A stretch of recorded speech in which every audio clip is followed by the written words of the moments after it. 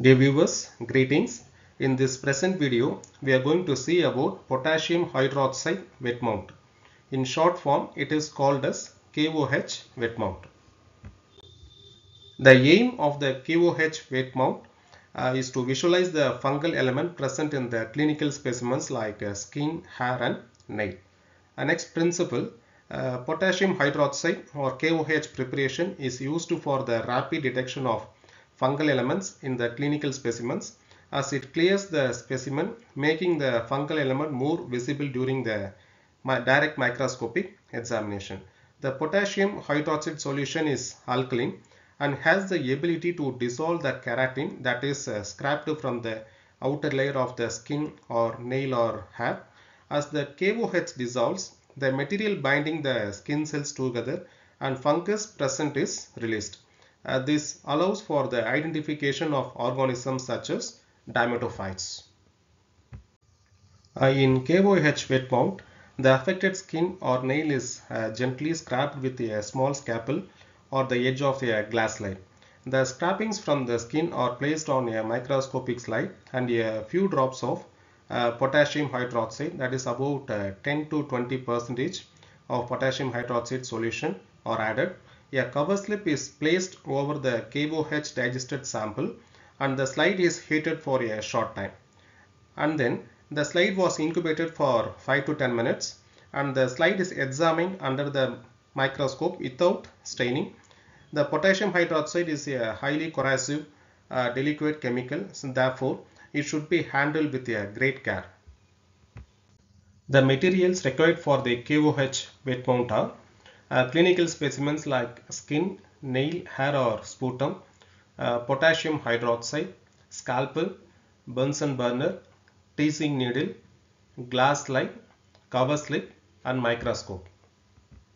The test procedure uh, first uh, place the clinical specimens like skin, nail, hair or sputum on the clean glass slide and uh, pour a drop of 10 to 20 percentage of uh, potassium hydroxide on the specimen and place a cover slip over it. And then uh, heat the KOH digested sample containing the slide gently over the flame. And then uh, incubate the slide for 5 to 10 minutes or place the slide in a petri dish or other container with a lid uh, together with a, a damp piece of filter paper or cotton wool to prevent the preparation from drying out. And finally, observe the slide without any staining under the microscope at 40x objective lens. Observation results. Uh, different fungal elements like uh, hyphae, pseudohyphae, yeast cells, uh, spores, uh, spherules and sclerotic bodies can be seen clearly in a KOH wet mount. In dermatophytosis, arthrospores develop and form as a hyphae break apart and appears as a linear chain of uh, small round to rectangular highly refractive structures.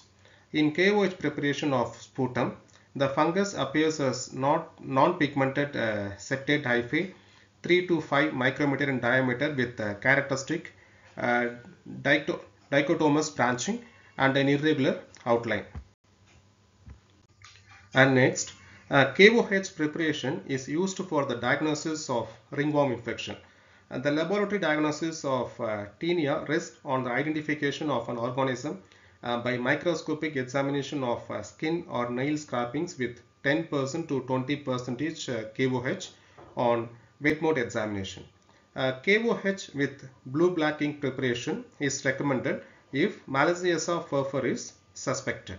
And finally, uh, calcofluor white potassium hydroxide preparation can be used for the examination of fungal infection because uh, calcofluor white is a non-specific strain and appreciation for fungal element morphology on direct examination is crucial for adequate specimen interpretation. And this image shows the KOH wet mount of Candida species. Dear viewers, thank you for your support. Thank you.